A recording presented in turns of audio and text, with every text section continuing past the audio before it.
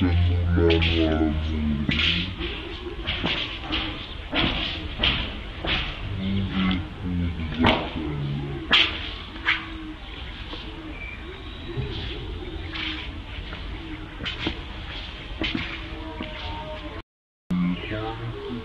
Thank you.